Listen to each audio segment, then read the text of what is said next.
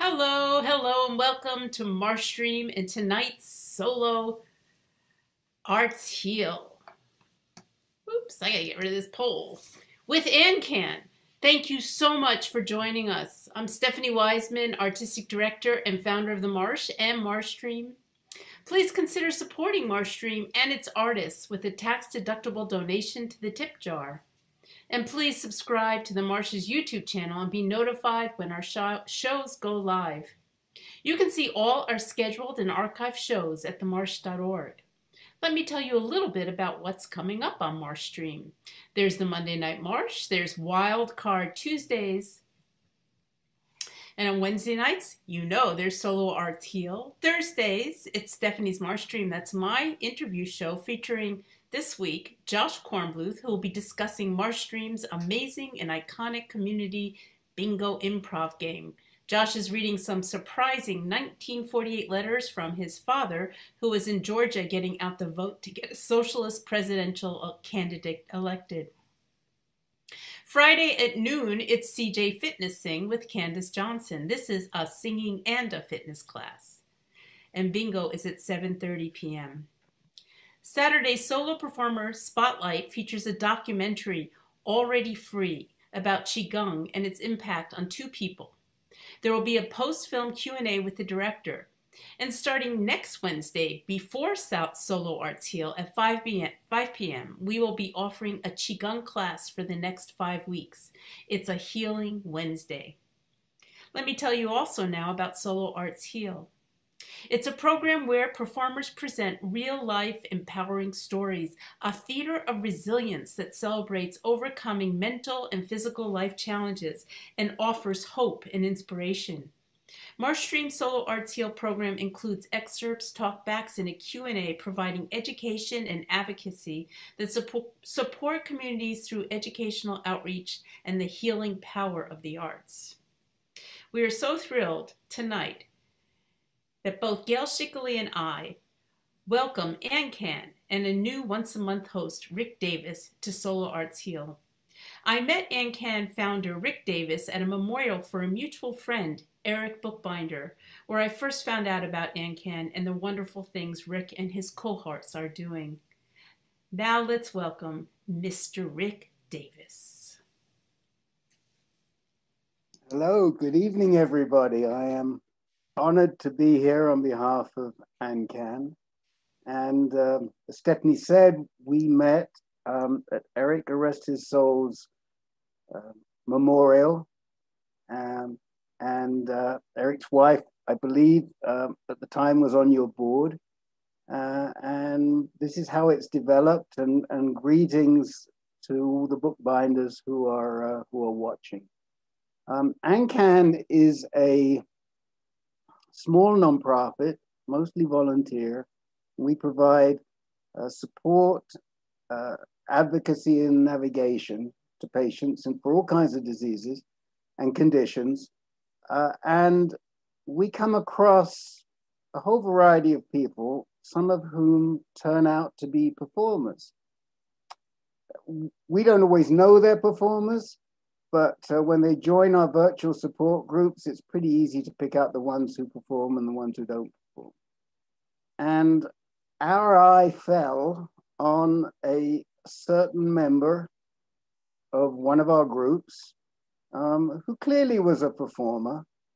And so when Stephanie came to me and said, Would we be interested in hosting a show once a month with people that we sourced from ANCAN?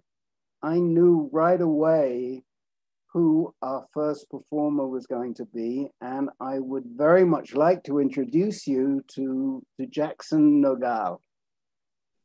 Hello, Jackson. Hello, Rick. How are you doing tonight? Good evening.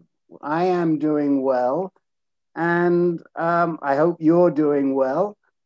And I am doing well. I'm thrilled to be here. I thank uh, thank you and Stephanie and uh, the um, the Marsh crew for having me. I really appreciate it because I'm not a I'm not much of a per- performer. I'm just starting to do that. So I don't know. We'll let we'll let the audience decide. Okay. What I want to ask you um, before we start is what would you like to share about your condition, your medical history? What does, does the, is there anything the audience needs to know to appreciate the rain delay? Um, not not a ton probably. Um, it's basically about my first day uh, back at work after I had surgery for prostate cancer, and um, some hilarity ensued. um, yeah, I you know making light of a very serious condition takes a lot of talent, a lot of intelligence, and a lot of humor, and I think we should we should allow the audience to see how you are going to kick us off with the rain delay. What do you think? That'd be wonderful. Okay. Please roll, please roll tape, as they say in the booth. Please roll tape, and you may need to turn up your volume on the on your um, on your own computers, your YouTube. Um, here you go.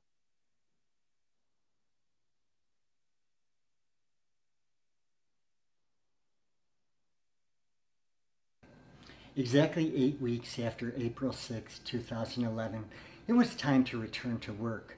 My Family Medical Leave Act Get Out of Job Free card had expired. I'd been recuperating from a surgery that my doctor described in the words of a 1990 skateboarder a radical prostatectomy. like way rad, brah. Ever since Dr. P had scoped cancer in my prostate bowl, dude had been stoked to go carving and grinding and to make an inside front grab of my gnarly baby daddy pump. For my first day back at work, I'd been invited to a work outing to see the Chicago Cubs play. It was a reward for all the crazy hours we'd all been putting in. Don't mind if I do, I'd replied. Only my boss knew where I had been for the past eight weeks and of the call I had received when I was alone on the evening of Valentine's Day. It had reminded me of the Ben Franklin quote The only thing certain in life is death, and I couldn't remember the rest. When we got to Wrigley, the first thing I heard was, Cold beer here. Now, I hadn't had even one drink since my prostate surgery, plus, I had lost a little weight. The average prostate gland weighs about 11 grams. I was two one hundredths of a pound more likely to get wasted in front of my colleagues. But the beer man didn't cater to lightweights like me. He only sold tall boys, extra large cans of Budweiser. I threw caution to the wind. Don't mind if I do. After all, what could possibly go wrong getting liquored up at a work event. We watched the game with the umpires calling players safe and out. But pretty soon Mother Nature was calling this player out. I had to pee like a Clydesdale. I trotted to the communal trough that Wrigley Field calls a men's room. Just when I ponied up to it, I let out a tropical storm. Dude, most rewarding work outing ever. When you hire a urologist to extract your prostate, it's a bit like hiring a plumber to remodel both the bedroom and the bathroom.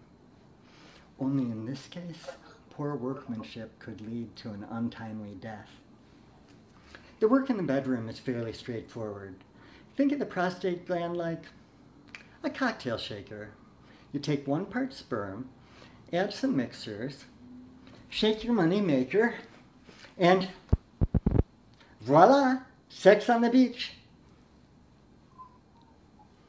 But after a radical shakerectomy, the bar is closed.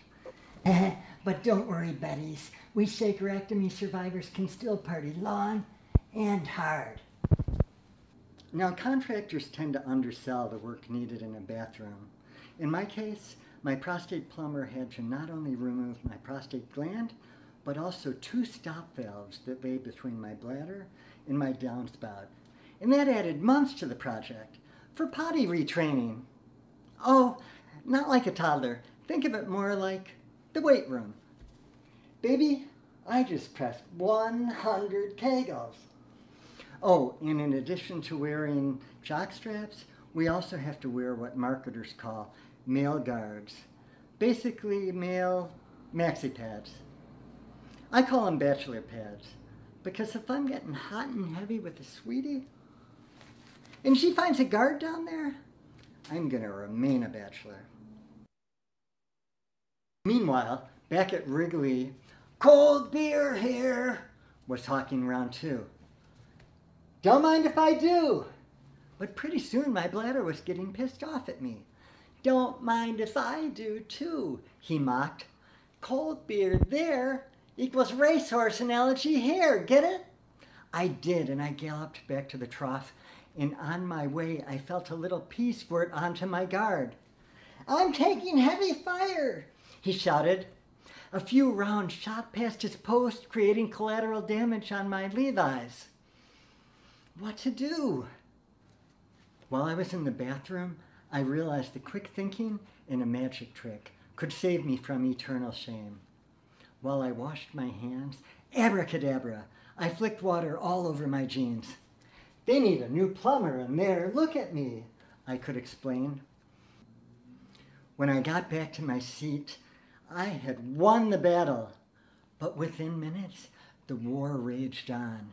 No less than the king of beers was reigning over my Clydesdale P raid. What to do? Now, I hadn't been particularly religious since Catholic school, but it was time to find my way back to the Lord and fast. Sweet Jesus, I prayed, please give me strength, at least to my smaller, but still large, companion. Now, I prayed to Jesus and not God or the Holy Spirit because I remember that he had real human experience with these matters. After all, his quick thinking and magic trick kept him dry by walking on top of the water. Within minutes, my prayers were answered. Raindrops started falling from the sky. God damn it! cried a red blooded Cubs fan. Jesus, undamn it, cried this yellow peeing self respect fan. My prayers were answered again. It started deluging rain. My jeans got soaked. I no longer had to hold every drop in. I did have to maintain some control. In my experience, even a proverbial flood can only dilute so much pee. And I didn't want to give the ladies a taste of what the men's room smells like after five innings of cold beer here. We ran to El Jardín for shelter. The waiter touted their famous extra large margaritas. No me importa si no lo hago, I thought as I ran for the changing of the guards. By the end of lunch, even my only replacement guard had become shell shocked. It was time to deploy, or I would be the only rotten smelling sardine on a rush hour train packed to the gills. As I was leaving, I spotted Mindy, the most beautiful woman in the office. I had a secret crush on her. Jackson! She spotted me too. Her perfect smile beckoned me. Where did you travel on your sabbatical? I realized that I shouldn't share my story with her, and by extension, the fact that we would both die someday. That would deep six any chance I would ever have on asking her out. To hell and back, I kept walking, if only she knew.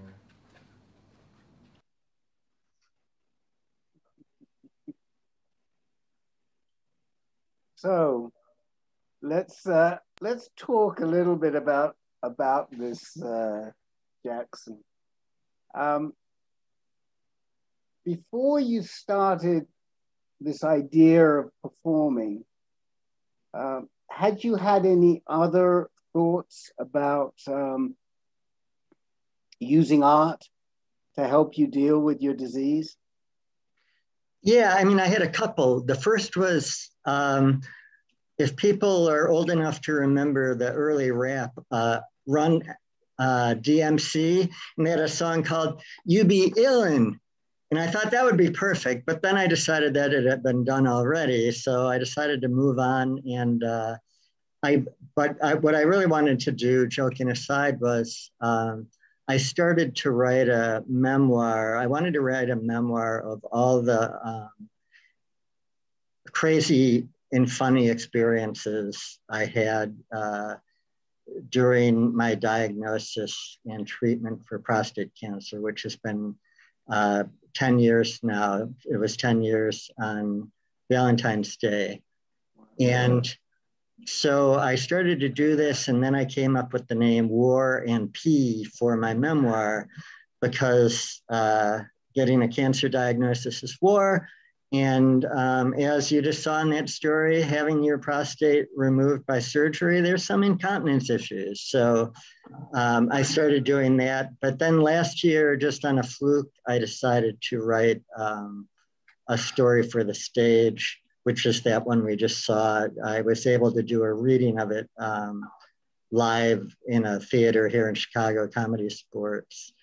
Um, and then I was scheduled to do it live uh, for a um, Chicago storytelling organization, which I should remember, but it's, uh, I get brain fog from these drugs I'm on. Um, but uh, yeah, it, COVID came, but then I was able to do it on their first uh, Zoom night. So I got the very fun experience of trying to do comedy with zero feedback, um, like I'm doing tonight. So hopefully uh, I'll get my COVID shots and try to get on stage and uh, actually experience a real audience. So how how's the um, War and P memoir coming along?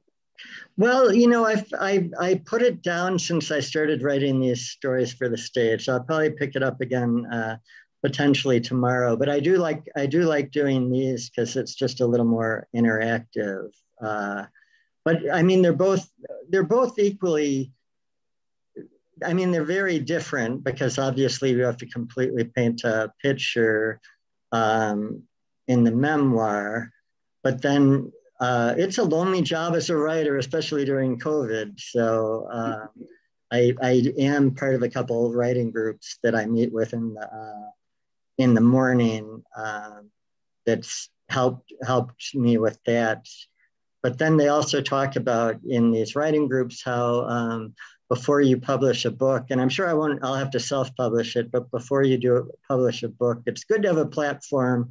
Uh, so this is my platform. you know, I, I, I, was thinking it was sort of a bit of a slippery slope into performing. From writing, you start sliding into perform. I don't know where you go after the after the uh, videos. Maybe you do the videos and then it's the stand up and what have you. But your problem is you've got to clamber back up that slippery slope to do the writing again, right?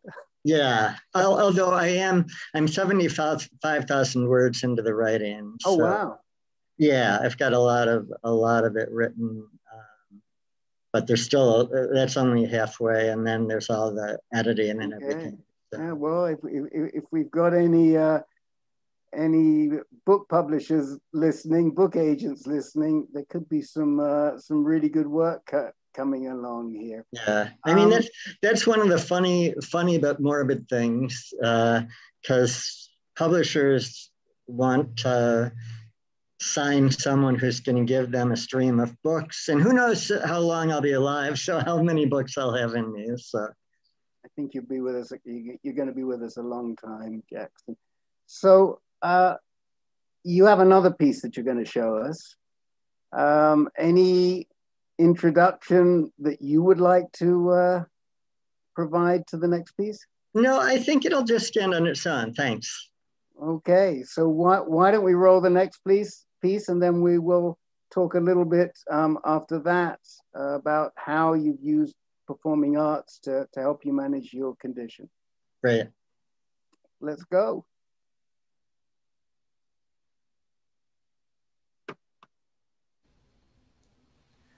I recently did some modeling work.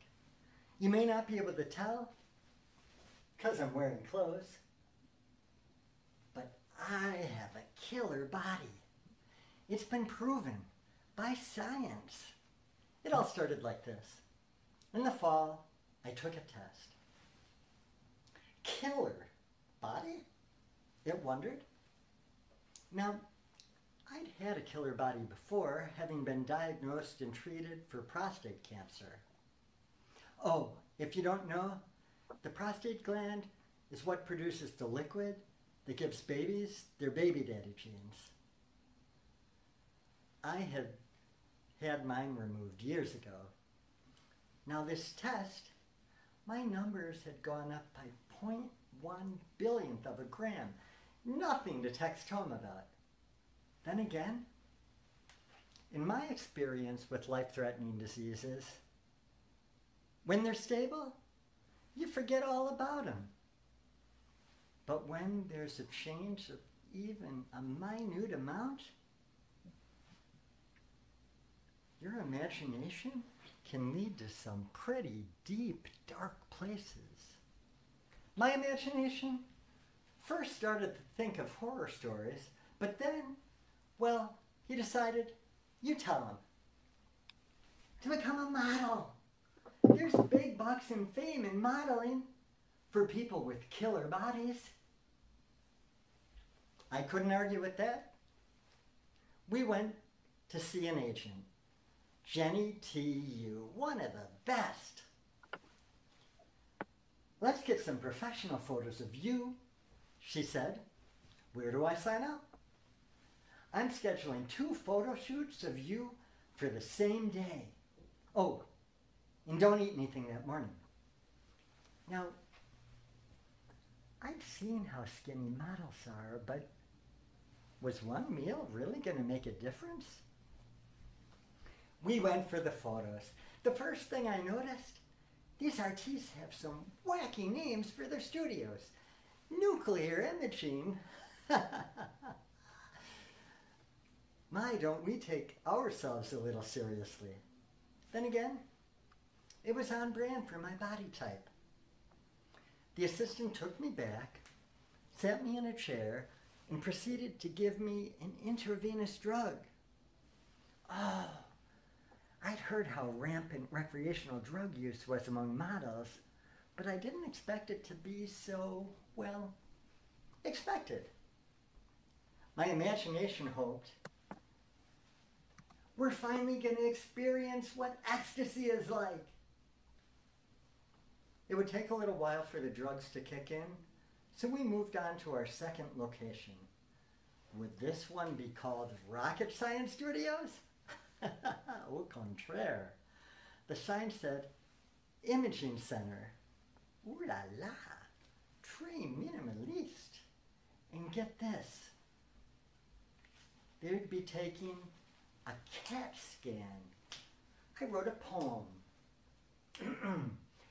My agent must think of me as a cool cat. A cat with a killer enough body to warrant a CAT scan.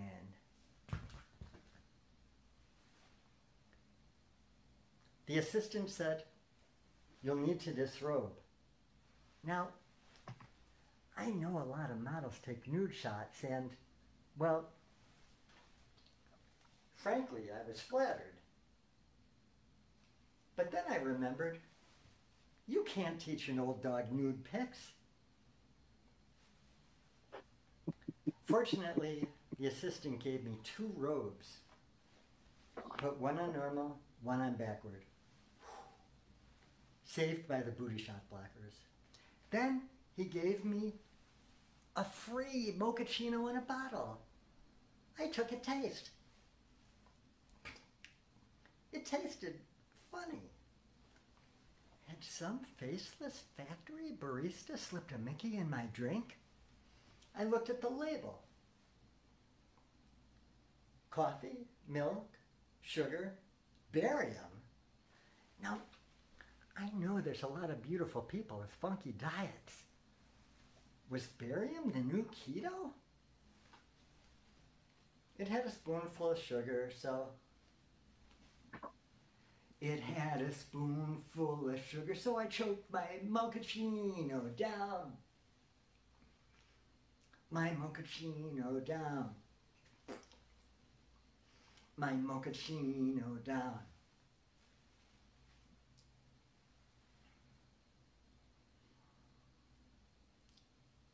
When I went into the studio, I warmed up my poses. But the photographer said, light down on the table. Then he left the room, closed the door, and proceeded to talk to me over an intercom. Like, I don't got no COVID, dude. As I lay there, I examined the camera. At my feet was this huge donut looking thing.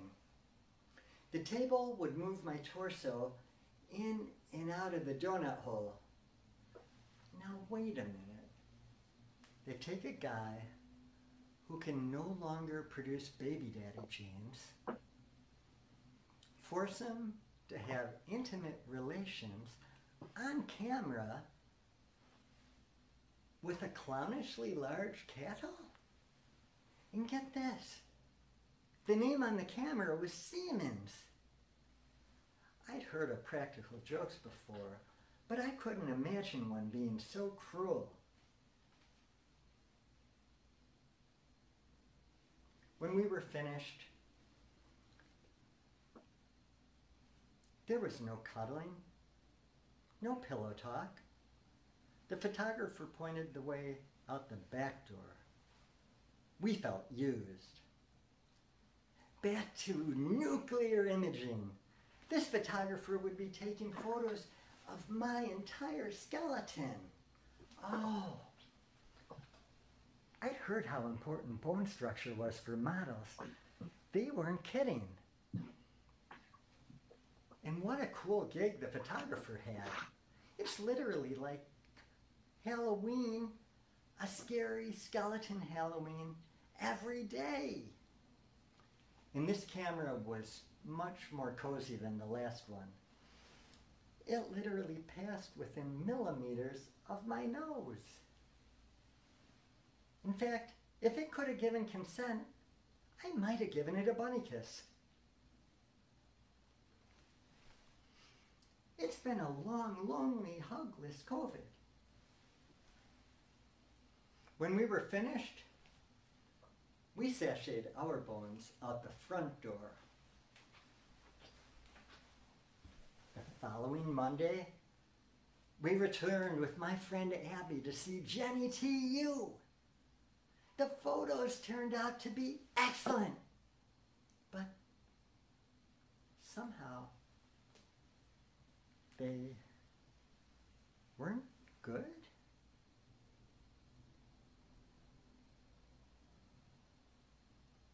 In the flash of a paparazzo, my life changed. Sitting in front of me was my Jenny T. Urinary medical oncologist. She was no longer my agent. This had no longer been a photo shoot. I was no longer an aspiring model. But I did have a killer body. Again. As I mentioned earlier, years before I had had my prostate gland removed from my prostate bed. A few years later, the cure was to zap my prostate bed with 40 rounds of radiation. But now, just like B- Baby Bear found Goldilocks sleeping in his bed, that cat had found a small two centimeter soft tissue mass lying in mine. He was still there. Now, when you have a killer lurking inside your body, a small, a small two centimeter tissue mass seems pretty big. It's a little like those old movies where someone has a small revolver, but they're calling from inside the house. Only in my case, my assassination had my assassin had been hiding downstairs in my private basement.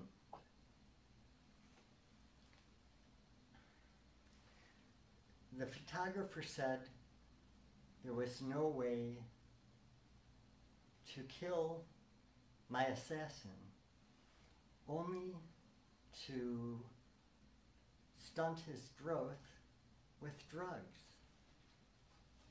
Oh, and as seen on TV, there may be side effects. ADT may cause memory loss, mood, mood swings, depression, fatigue, loss of muscle mass, bone thinning, weight gain, hot flashes, libido loss, gynecomastia. What the hell is that? I didn't know either. Talk to your doctor. I did. She said these drugs function in a similar way to castration.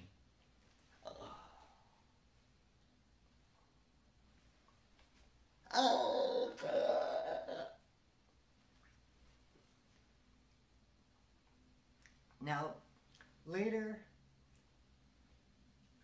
I asked the woman I live with what she thought. Alexa, what do you think? Many legal experts consider these drugs to be violations of the Eighth Amendment, cruel and unusual punishment for sex offenders. For sex offenders? I wasn't even having legal loving sex. But you must either do or die. So I made my vow. Till death do us part.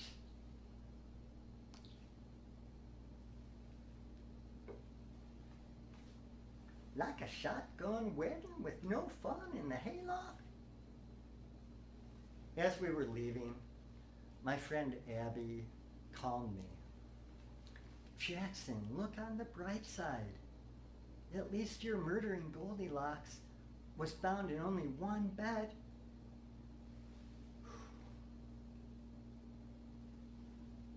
Abby was so right. That murdering Could have been found like stage four murdering Goldilockses all over my body.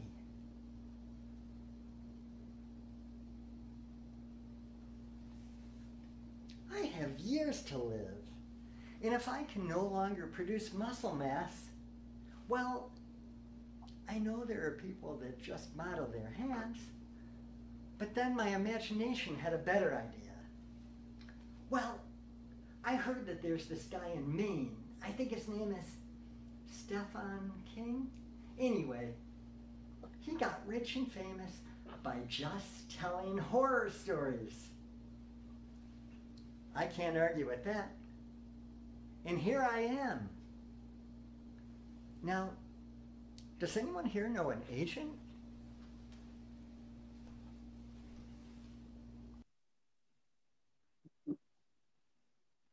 Well, thank you again, Mr. Nogahl. That's my um, story, and I'm sticking to it. Apologies for the low vacuum, uh, low volume. I recorded that late at night, and I live in a condo with very thin walls, so I was trying not to uh, have the neighbors hear my story 10 times in a row because I couldn't remember the words. um, before we go on, and I have a few questions um, that I'd like to ask you, if the audience has anything they would like to put to to Jackson Nogahl, please use the Q and A, and um, we'll keep an eye on it, and we will pose those questions uh, to him. But let let's get back to some of the thoughts that I have. How um, how has performing arts, whether it be writing, whether it be video, how has that helped you manage the condition that you live with on a day-to-day basis? I mean, it definitely it definitely gives me a different perspective, and you know, throughout my life, I've done a lot of writing and tried to write comedy. And um, if you you know if you watch any good comic, I shouldn't say any good comic, but a lot of the best comics, uh, especially after the African American comics, um, the comedy comes from pain. And if you if you stop laughing and listen to what they're really talking about. It's some very difficult situations. And I think that's true for me in a different way uh, as well. If I can take those, you know, going going alone to have a CAT scan and then um, uh, uh, scintigraphy is the bone scan. You know it's it's kind of a weird process. And then you know i was lying on the cat scan and there was confusion in my doctor's order. So i had to lie there a little longer.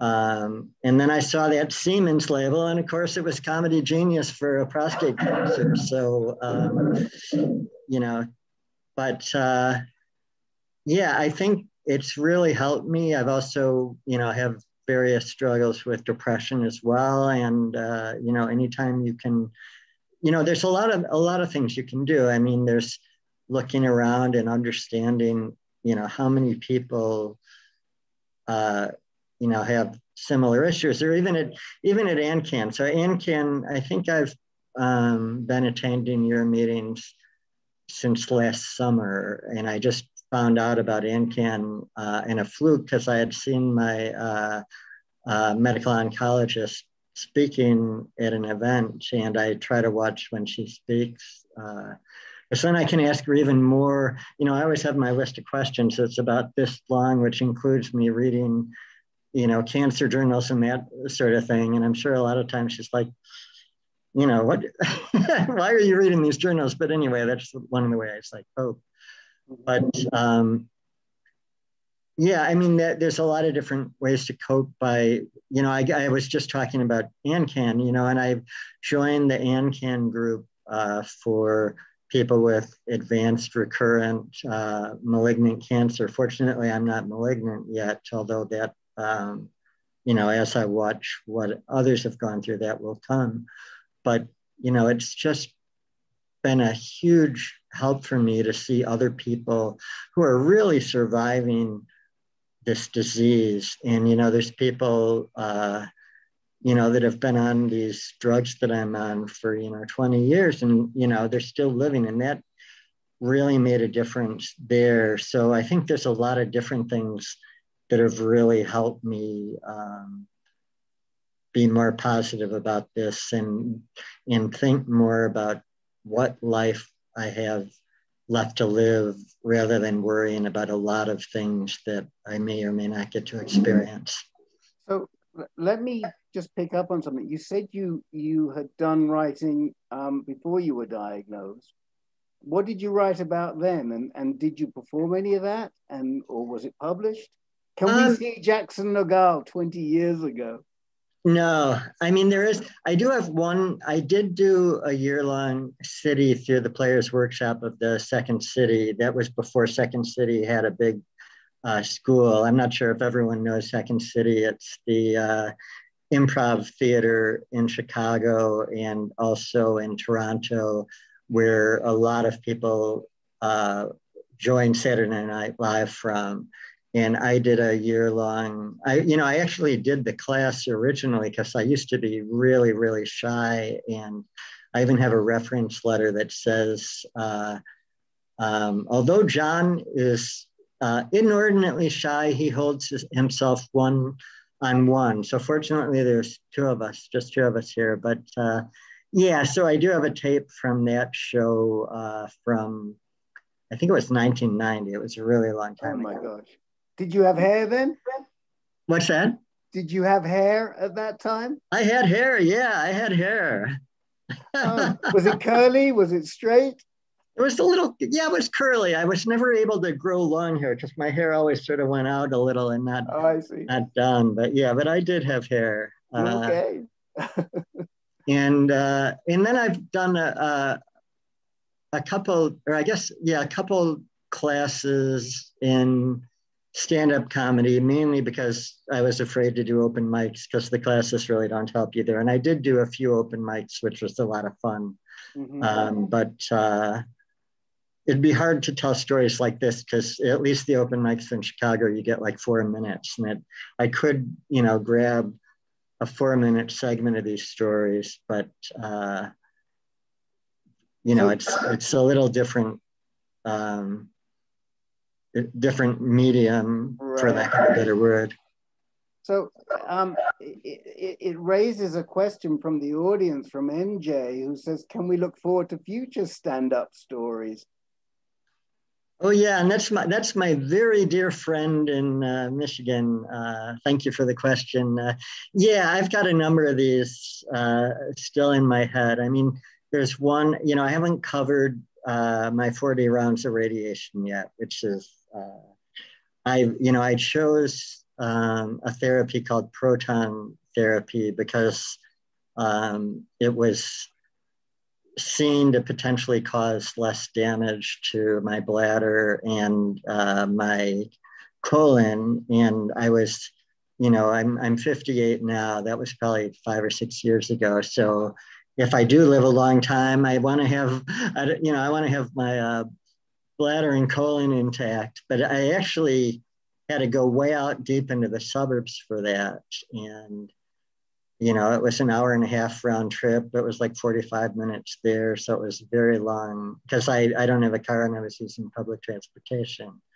Um, but weird little things come out of these things. Like uh, I met one of my um, best friends in the uh, in the train station on the way home. There's this uh, woman there, uh, shout out to Kat, who had this big um, cello case, and uh, we became deep friends. So there's good things that come out of this uh, too. But you know, there's a lot of different things from that. From getting, you know, I have I have bling inside me. I've got two gold uh, markers that they call uh, fiducial markers. Originally, I was calling them fiduciary markers, but that was a lack of understanding and because they were gold. So, um, and then there was, you know, the the I, you know, I do have a photo from it. Uh, the last day I was there, I had them take a picture of me lying on the table with a big red apple in my mouth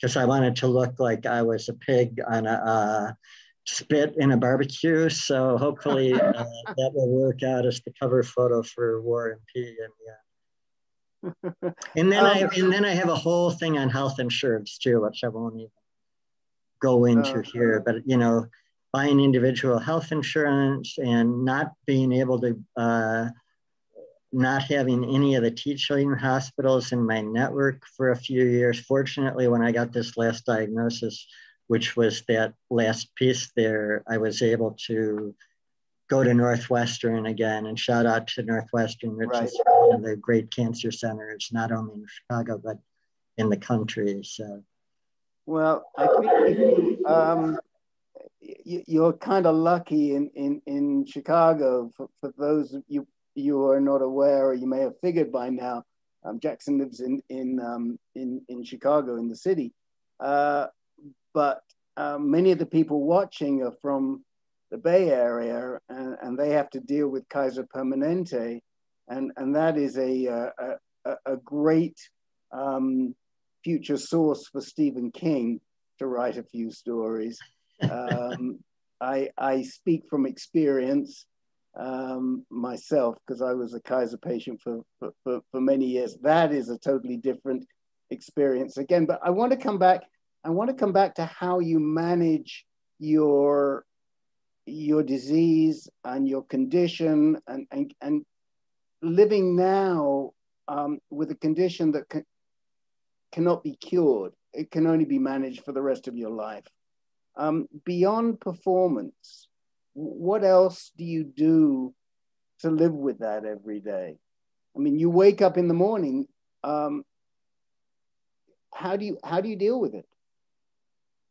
Yeah, I mean, fortunately, in morning, I've, I've got structure now that I have these re- writing groups. Uh, so I do one from 9 to 9.45, and then I do another one from uh, 11 to 12.45. And, and it's kind of funny. I mean, if you're, if you're not a writer, this will sound really crazy, but what we do is we, uh, so for the first one, it's someone with a free Zoom account. And I'm sure everyone knows after a year of Zoom, if you have a free account in more than two people, it dies after 40 minutes. So we all go on the Zoom we all mute ourselves, we all write for a half hour and then we chat. And then the second one similar, but that one we go from 11 to 12.30 and we write and then we chat. And uh, it just adds a lot of structure to my day. It's a nice to have people around. I also um, I'm trying to, you know, I've I already had um, osteoporosis, and these drugs I'm on, as you well know, but a lot of people in the audience don't.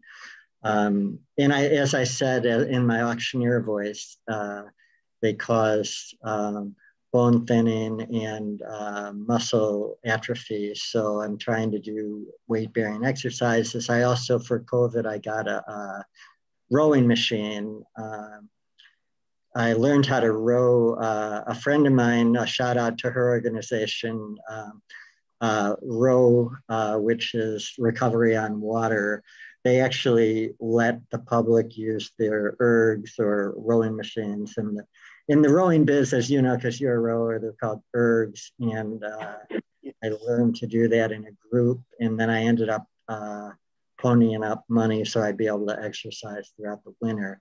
And then I'm trying, it's it's been hard for me. To, I'm I'm, you know, it's funny with the food thing because I'm afraid of food now. Uh, and, you know, I've talked to a nutritionist and, you know, people tell me don't be afraid, but, you know, I try to meet um, primarily a, a, vegan diet. Uh, I try to, you know, I used to love to go out and have cocktails with my friends, but I try to really limit my alcohol now because that's one thing that they do say is a carcinogen. Um, you know, so, uh, and then you know i visit my doctor a lot and you know and it's still you know learn and, and i educate myself a ton so i learn a lot from ancan but i also like i said i uh, look at all kinds of articles and there's a lot of webinars and that sort of thing and you know i i know what the progression of my drugs is going to be because cancer mutates is you know better than anyone. Anyone. Just just so the people in the audience know a little more about Ancan. Rick is uh, knows everything. We have we'll have someone come on to one of our calls from you know Cincinnati, and Rick will know the genitourinary um, medical oncologist in that area, or someone will call from you know well Rick lives in Arizona, but someone will call from New Mexico or wherever. He always seems to know the, the woman or the guy there. But uh, well, it's, it's, it's just that I've been doing this a, a long, long time. Um, how do you do? You find it easy to to stay in the moment, to stop your to stop your monkey mind? I mean, I think you um, you're taking you've taken some courses and you're you're doing some some more courses to to try and help you center your mind at this point in time, right? Yeah, well, I've been doing uh, meditation for a while. Shout out to this organization, Shambhala, uh, which is national, but there's a part in Chicago, and I've taken a lot of classes in meditation over the years. I meditate every day. Uh, and then I've mentioned this to the ANCAN group, but one other thing Northwestern had, which I thought was very helpful, is I've been doing a, um, for six or seven weeks now. I've been doing a course called um, Meaning uh, M, uh, Meaning Centered Psychotherapy. I think is the name, and it's by. It started. Uh, it started with this uh, guy Viktor Frankl, who um, was a uh, psychologist or psychiatrist, I think, in in Austria. And in fact, it's really a funny story because I mentioned his name to friends of mine, and one of my friends studied under him in uh, Vienna years ago. But uh, Viktor Frankl, uh, you know, was a, a leading uh, psychiatrist who uh, ended up um, being put in a, a concentration camp in World War II, a, a Jewish guy, and he wrote a book um, about how how people who are in you know dire straits like that can still find meaning in their lives. And i thought that was so uh, such a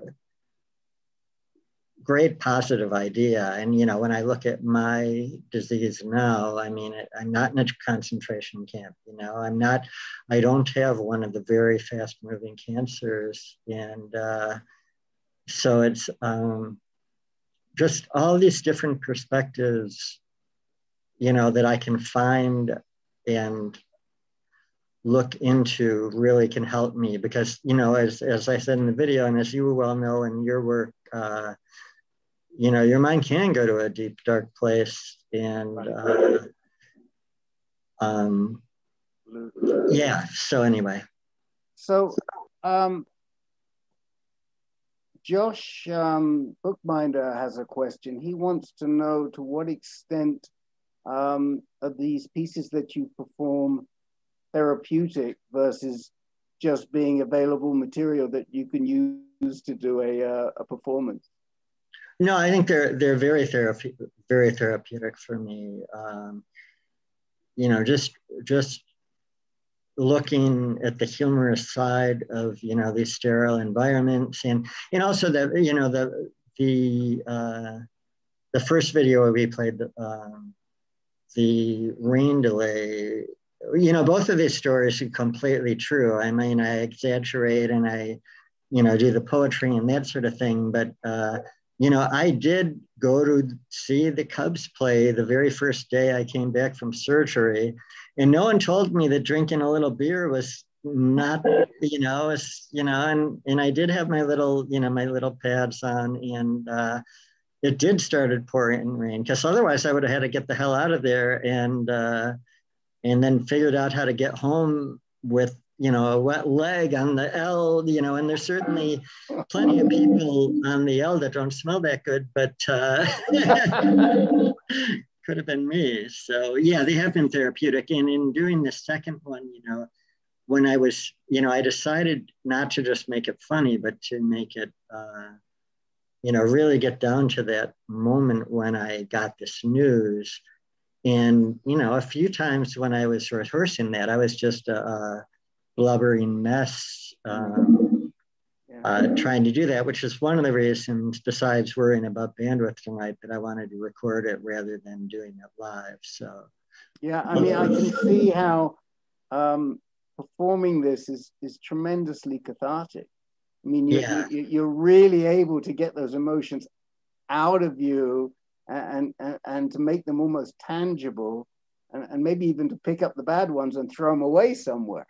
Uh, you know, this, do you agree?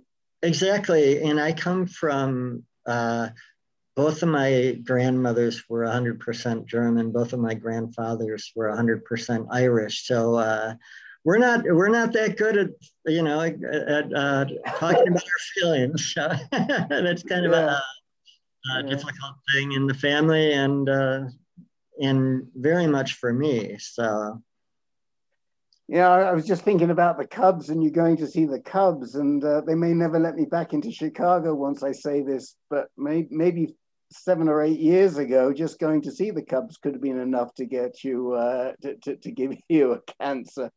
Um, things have things have changed now, of course. So we we now have to reckon with with a real team at Wrigley Field. I was actually really lucky to to get to Wrigley Field um, for the first time ever. I lived in Chicago um, for a couple of years when I was in grad school. Never been to see the Cubs, and then um, one of the gents with whom uh, who I we had provided support to um, knew that I was going to be in Chicago for a conference, and and came up with Cubs tickets, and it was a it was a tremendous experience. It was really a wonderful experience to to to get to Wrigley Field. Have you always been a Cubs supporter?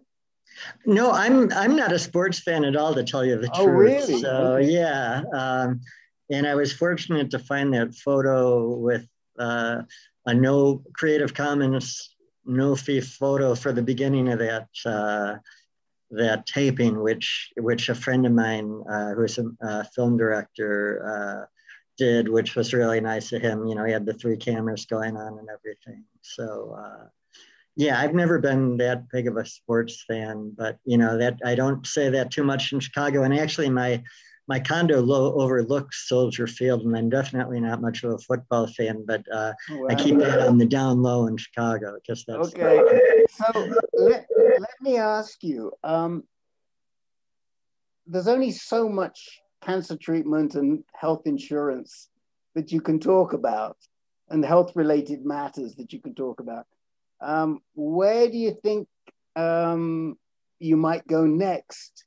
When you're done with the when you're done with with the cancer experience what else intrigues you to write about?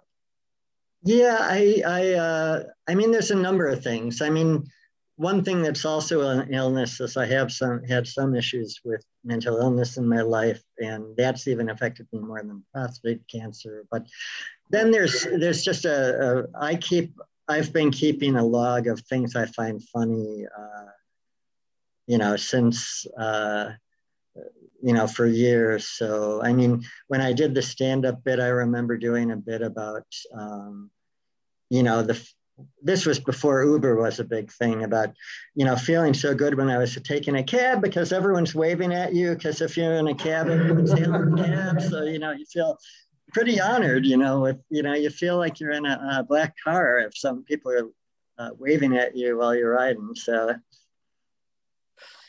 so um, we're we're sort of coming close to the end of the of the uh, our time now, and um, I really would I really want to thank you for, from from my own depths that you are willing to share this. Um, we at ANCAN support a number of diseases, but our mother lode has always been prostate cancer. That's how we started. That's where we started. That's where I started. And, and we built on that.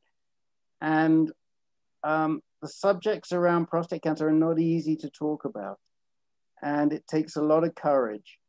And I, I just want to, um, to give you kudos for, for bringing these subjects out into the open and being willing to talk openly about them.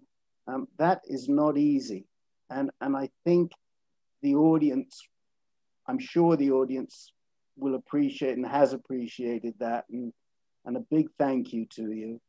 Um, I would like to say that um, if anybody who is watching is interested in any of the ANCAN groups, um, we have a whole number for various, for different conditions, not just cancer, conditions like MS, for example, um, for other cancers. And our groups are all free and drop in.